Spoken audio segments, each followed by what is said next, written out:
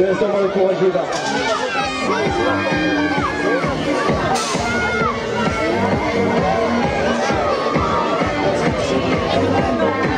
Nous sommes à numéro 24.